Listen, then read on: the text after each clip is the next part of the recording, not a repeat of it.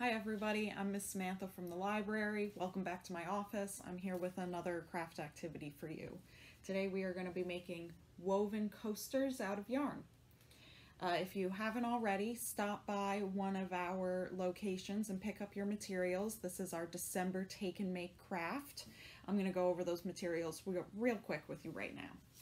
So First thing you should find is a cardboard loom. This is just a rectangle of cardboard about 5 inches by 11 I think uh, with notches cut in the two short sides of the rectangle. You should find one yarn needle. Uh, mine's metal but yours should be plastic uh, and a small ball of yarn. Uh, I'm gonna switch cameras here and then we'll get started. And here is the coaster one more time that we're going to be making today. Uh, this is something you could give as a gift, make something for your mom maybe. Uh, with the holidays coming up, this is a nice, easy, cheap project that comes out looking really cool. So we're going to start with our loom. We're going to unravel some of our yarn. We're going to start by putting our yarn through this first notch up here at the top. You're going to want to leave some tail on the back as well. We'll weave that in later. Now we're going to stretch the yarn down here to the next notch and up the back and around to the second notch. We're just going to do that all the way across the loom.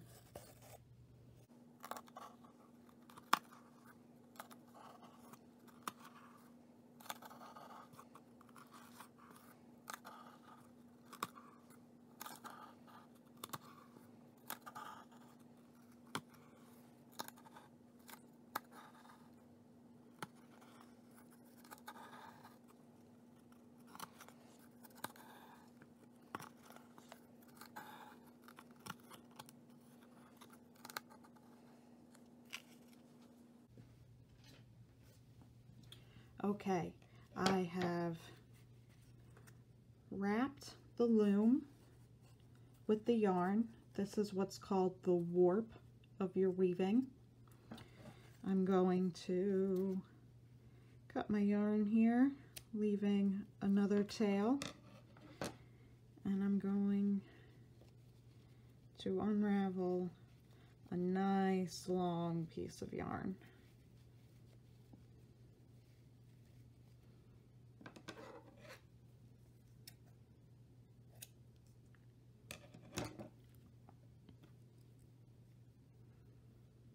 and I'm going to run that through my needle.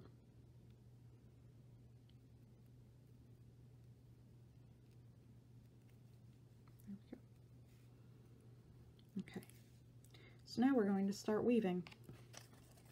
So you're going to start about three and a half, four inches up from the bottom of your loom. And you're just going to start with a simple under, over, under over pattern. Pulling that yarn through.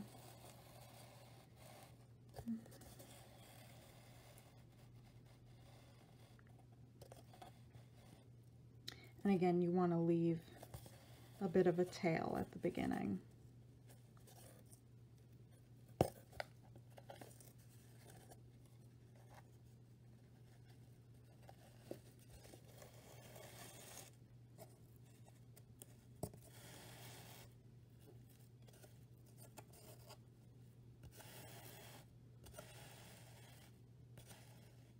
There we go.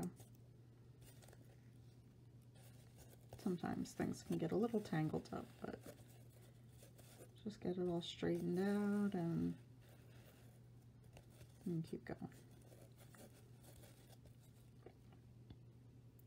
All right, so now I'm going to go back the other way from right to left, doing the opposite of what I did before. So I'm gonna go over, under, over, under.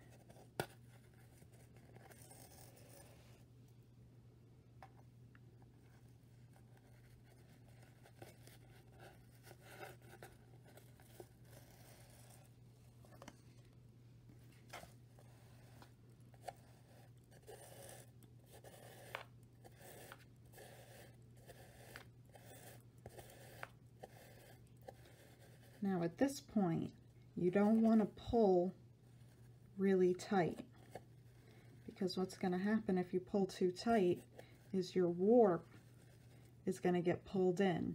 You see that? That's going to create an hourglass shape. We don't want that. We want a nice little square.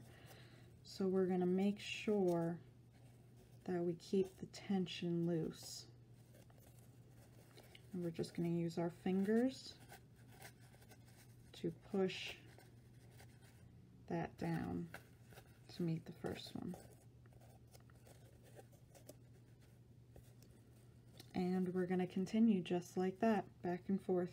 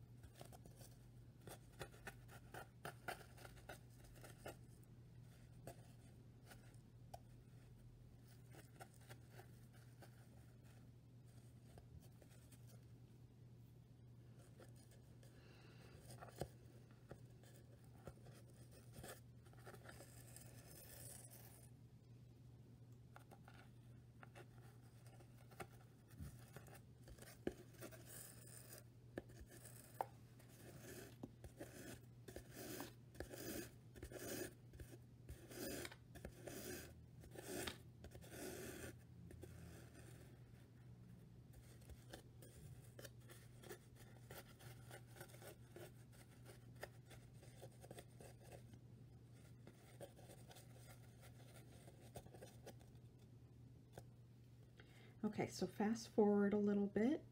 I've gotten to a point where I'm pretty much out of this piece of yarn, so I'm going to pull that off my needle. And I'm just going to leave that for now. As I mentioned earlier, we're going to be weaving in all the loose ends at the end. So I'm not going to tie anything off or anything like that at this point. I'm going to get my new piece of yarn through my needle, maybe. Okay, yep. And I'm just going to begin again, following the same pattern I did earlier.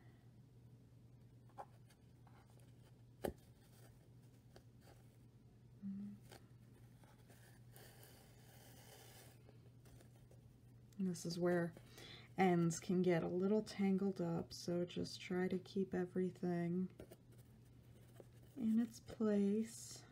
There we go.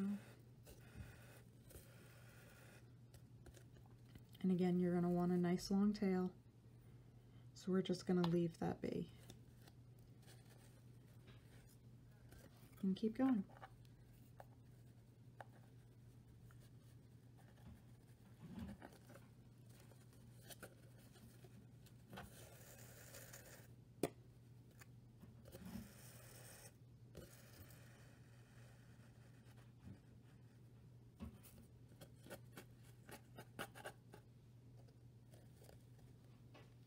Alright, so I've made it to the end of my coaster and I've started to weave in my ends and I want to show you that real quick.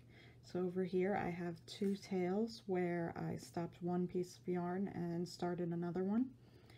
I'm just going to start by gently tying a little knot there just to help keep everything in place. I am then going to string one of the tails through my yarn needle.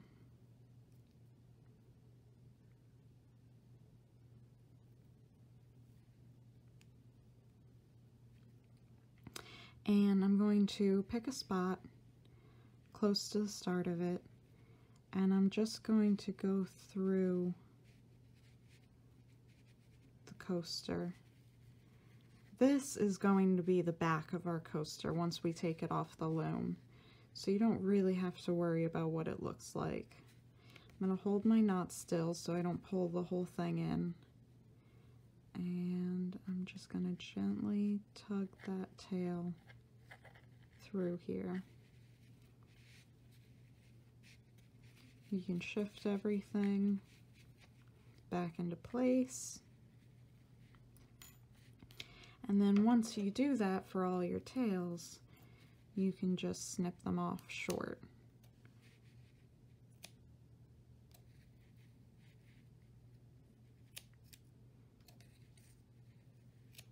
So I'm going to finish up with my tails and come back for the, the last part, taking your weaving off of the loom. Okay, I finished tucking in my tails.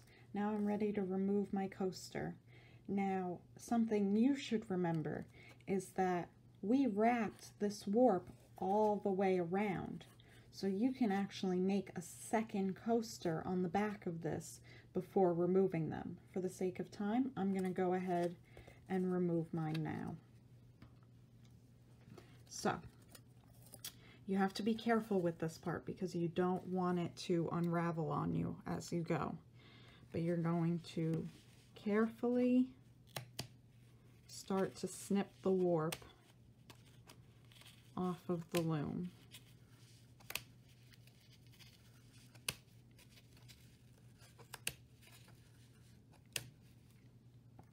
And now, taking two at a time, you're going to tie the warp into knots. This will secure your coaster and give it a cute little fringe. So we're going to do that all the way across.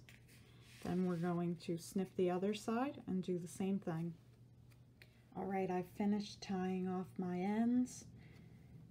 I trimmed it a little bit to create a nice little fringe and there is my finished coaster. Thank you for watching. Be sure to check back for more videos and we hope to see you at the library soon. Bye-bye.